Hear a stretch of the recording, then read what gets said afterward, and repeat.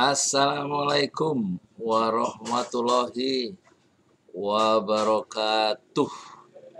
Ini ada berita yang bagus soal kenal pot bocor. Ini julukan baru untuk Pak Mahfud.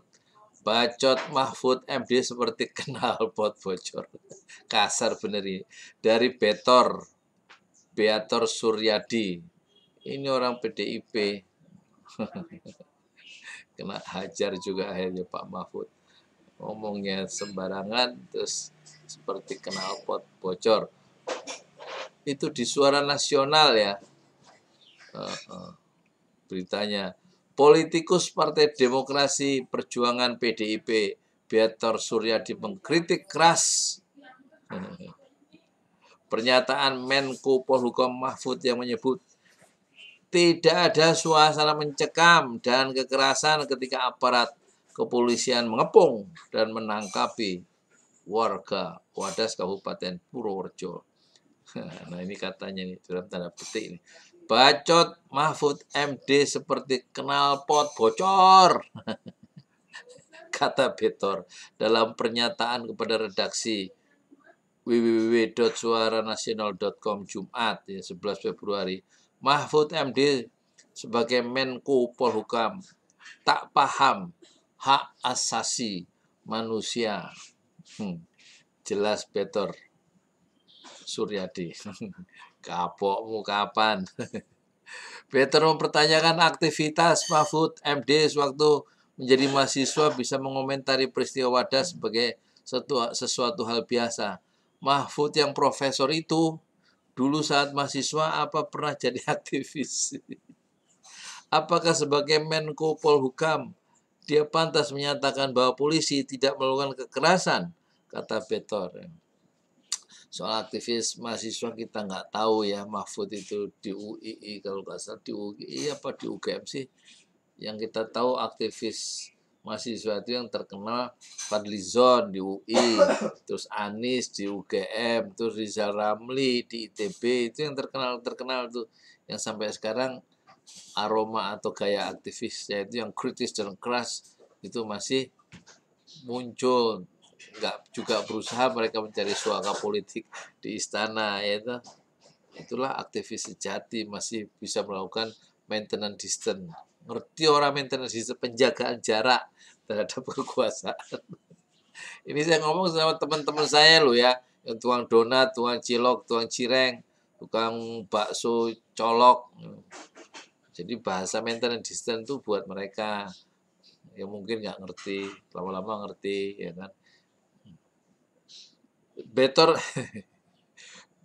Better mengatakan maintenance distance. Better mengatakan di semua kasus penyerbuan polisi pada sengketa tanah selalu dilakukan kekerasan oleh aparat berseragam atau polisi preman. Buh, polisi preman. Ya itu biasa orang. Kemarin aja pengawalnya Habib Rizik dibunuh sama Polda polisi Polda Metro Jaya dan Mahfud nggak mengecam pembunuhan itu. Enam loh.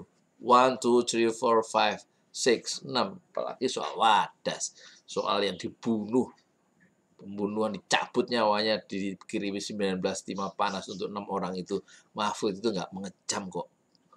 Ya itu aja yang besar itu nggak. Dia masih pura-pura nggak tahu apalagi soal wadas ya makanya sekarang dia kena batunya dihajar sama Betor ini. Sebagai apa? Kenal pot bacot Mahfud MD seperti kenal pot bocor. Kata Bertol tuh bukan kata saya. Bertol mempertanyakan aktivis mahasiswa aktivis Mahfud sewaktu menjadi mahasiswa bisa mengomentari peristiwa wadah sebagai sesuatu yang biasa. Mahfud yang profesor itu dulu saat mahasiswa apa pernah jadi aktivis?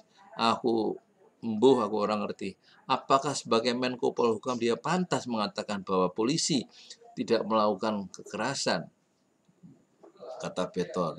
Betor mengatakan di semua kasus penyerbuan polisi pada sengketa tanah selalu dilakukan kekerasan oleh aparat berseragam atau polisi preman. Nah itu jujur, suara yang jujur ya.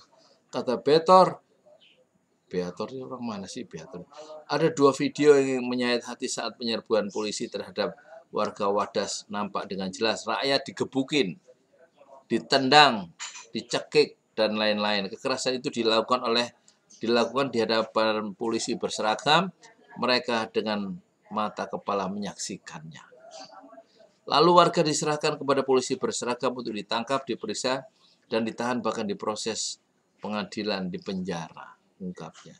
Pantaskah polisi membiarkan warga digebukin atau justru para pelaku kekerasan yang tanpa seragam itu adalah preman surat pengusaha atau malah aparat interpolisi?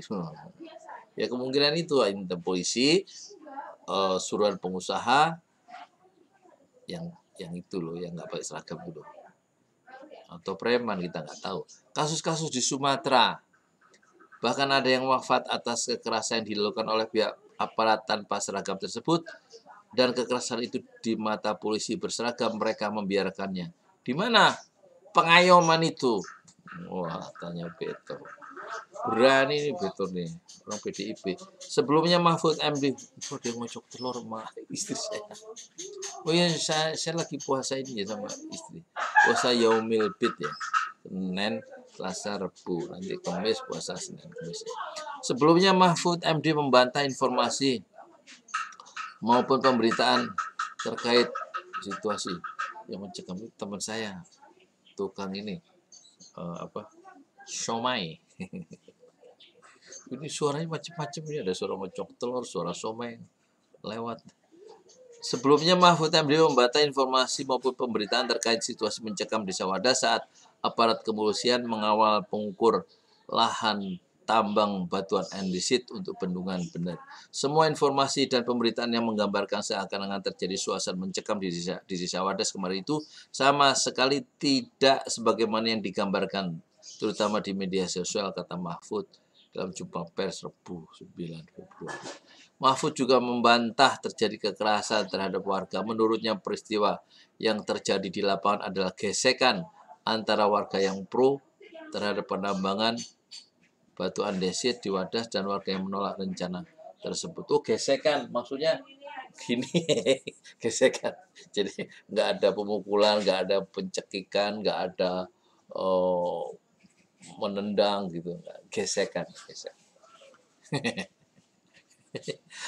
Gusti, ampun ya astagfirullahaladzim, astagfirullahaladzim, astagfirullahaladzim. Hari ini Pak Mahfud dapat gelar bacot Mahfud Mahfud MD seperti kenal pot bocor.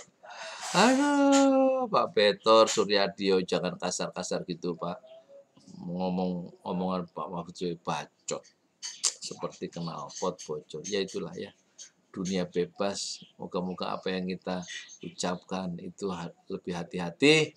Karena termasuk yang saya ucapkan itu nanti ditanya di akhirat, dicatat, direkod di akhirat ya.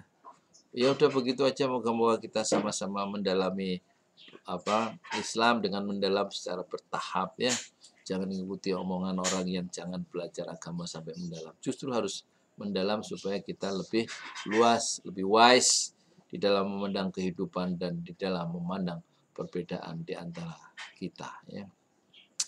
Udah ya terima kasih. Assalamualaikum warahmatullahi wabarakatuh. Saya Yudi Pramuko tukang donat dari Parung Youtuber tertua di semesta fasbir sobron. Jamilah bersabarlah dengan kesabaran yang indah. Ya piye kira mati ini re huh? start. Oh. Wah masih susah tuh mati ini. Hmm? piye ki mati ini OBS nah, kadang stop record. Terima kasih. Fasbir sabran jamila. Bersabarlah dengan kesabaran yang indah. Assalamualaikum warahmatullahi wabarakatuh.